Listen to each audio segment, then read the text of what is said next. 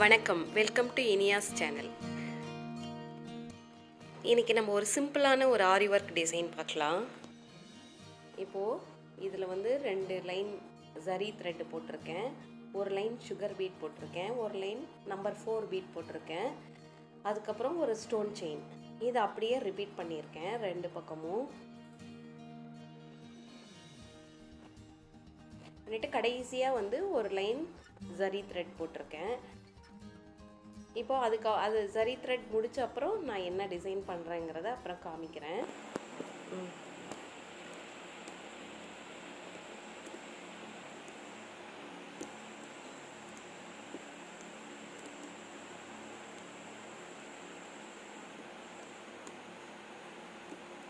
நம்ம வந்து இந்த ஆரி ஒர்க்கை எடுத்துக்கிட்டோன்னா ரொம்ப பொறுமை அவசியங்க. நம்ம பொறுமையாக இருந்தால் அழகாக பண்ணலாம். கொஞ்சம் உணர்ச்சி வசப்பட்டான்னு வச்சுக்கோங்களேன். க கரெக்டாக பண்ண முடியாது. அதனால் பொறுமையாக நமக்கு டென்ஷனாக இருக்கும்போது நம்ம எடுத்து மூடி வச்சுட்டு அடுத்து கொஞ்சம் நேரம் வேறு வேலையை பார்த்துட்டு கூட வந்து செய்யலாம். இது ரொம்ப ஈஸியான டிசைன் தான் இது. கொஞ்சம் பிகினர்ஸ்லாம் நல்லா இதை ட்ரை பண்ணலாம். அந்த அந்த சேரீயில் வந்து மேங்கோ டிசைன் இருந்தது. சரி அதுவே போட்டுடலாம் அப்படின்னு சொல்லிட்டு ஒரு பேப்பரில் வரைஞ்சிட்டு அதை ட்ரேஸ் எடுத்துக்கிட்டேன். கீழே ஒரு கார்பன் ஷீட் வச்சு அப்படி ட்ரேஸ் எடுத்துக்கிட்டேன். ஈவனாக அந்த கேப் விட்டு நம்ம எடுத்தால் நல்லா அழகாக வந்துச்சு. இப்போ இந்த மேங்கோ டிசைன் எப்படி போடலாம் அப்படிங்கிறத பார்க்கலாம்.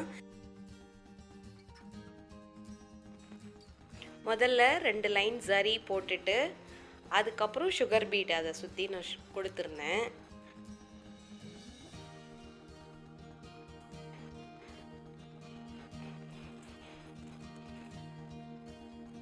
எப்போவுமே இந்த மேங்கோ டிசைன்லாம் போடும்போது ஒரு கார்னர்லேருந்து நம்ம போட்டுக்கிட்டே வந்தால் ஃபினிஷிங் அழகாக வரும். இப்போ நம்ம இதை முடிச்சுட்டு எப்படி இருக்குது அப்படிங்கிறத நம்ம பார்க்கலாம்.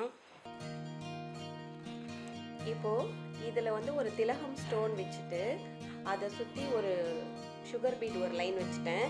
ஒரு ஸ்டோன் செயின் ஒரு லைன் வச்சுட்டேன். அப்புறம் மேங்கோவோட அவுட்லைனில் ஒரு சுகர் பீடு ஒரு லைன் வச்சுட்டு ஒரு செயின் ஸ்டிச் போட்டுட்டேன். சூப்பராக இருந்தது. அது உள்ளே எல்லாம் ஃபுல்லாகவே செயின் ஸ்டிச் தான் போட்டிருக்கேன். இப்போ இந்த ரெண்டு மேங்கோக்கு நடுவில் கேப் இருந்துச்சு.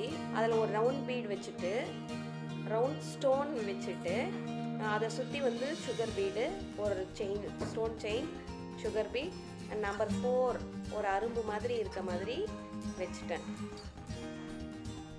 இப்போ இது ஃபுல்லாக எப்படி இருக்குது அப்படிங்கிறத பாருங்களேன். அழகாக இருந்தது இது பார்க்குறதுக்கு நீங்களும் இது ரொம்ப எளிமையானது தான் இது. இது அழகாக ட்ரை பண்ணி பாருங்கள்